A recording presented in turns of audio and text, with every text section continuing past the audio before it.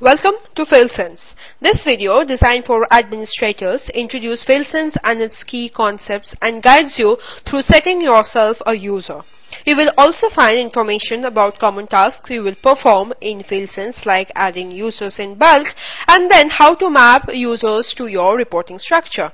So to learn how to log in and personalize FieldSense, let's log in into our FieldSense webmail dashboard.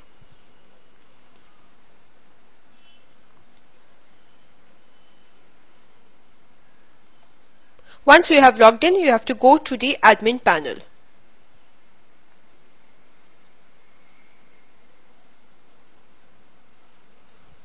Alright, so this section gives you the number of users who are already there in your FieldSense service.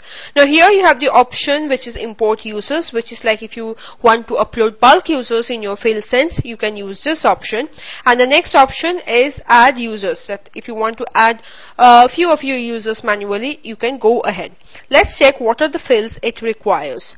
The first name, put in the first name of your user, followed by the last name then you have the designation for the user. Under role, what kind of role you want to provide to this user, admin rights or just on-field personnel. Let's select on-field personnel. Here you have to put in the correct email ID of the user.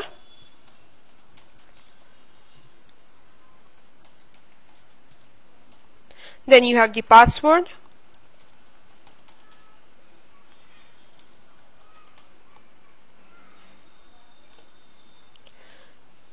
Do provide the correct mobile number here for the user. because an uh, a message will be uh, sent to this user on this particular uh, phone number when the user will be created. Either the notification will go either email or through the mobile number that you provide. So it is mandatory that you provide a correct mobile number for the SMS to go to that particular user. Now active uh, uh, signifies whether the user is active for your FieldSense service or not. Once you are done giving in all the details for the user, click on save. So the user has been created successfully. Let's check how to import users in bulk. Now here it gives you a link which says click here to download a sample file.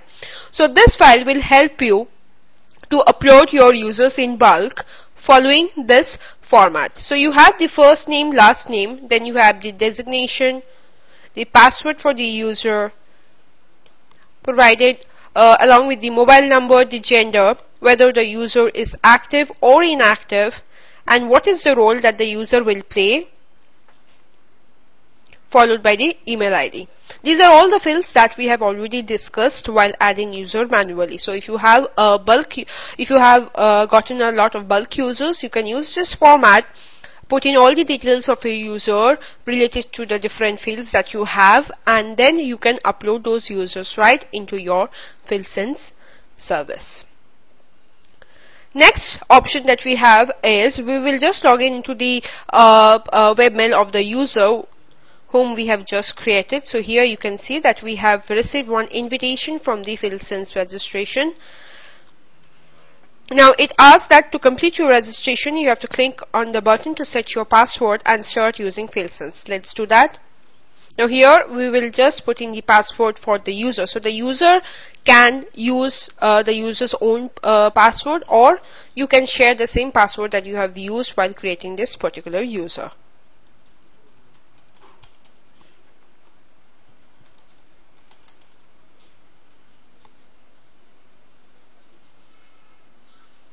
So actually this page comes because I was being logged in as an admin. Now I'll log out and log in as an user here.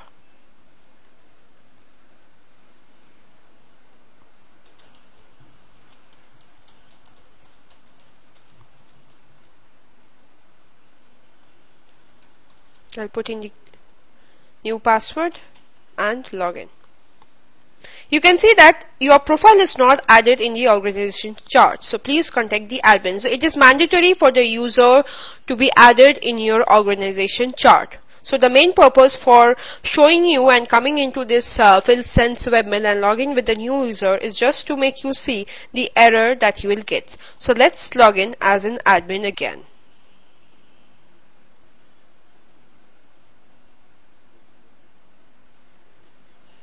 So to add the user in your organizational chart, you have to go to your admin panel and under reporting structure you have to map the user to whom the user is either reporting to or will act as a manager to his subordinates.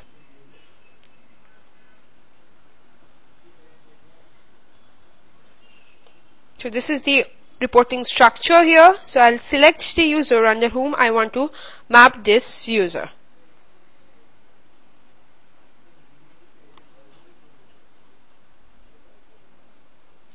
So here the person reports to this person and from the drop down you have to add the user and click on save.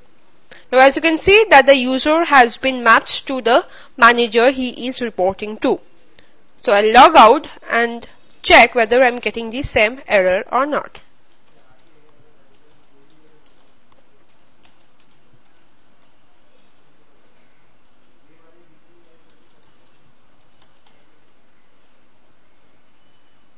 Alright, so me as a user, I can log in into my FieldSense uh, dashboard webmail and go through the activities related to my user accounts. So this is how you can add users in your FieldSense or upload bulk users in your FieldSense and then map them to your reporting structure.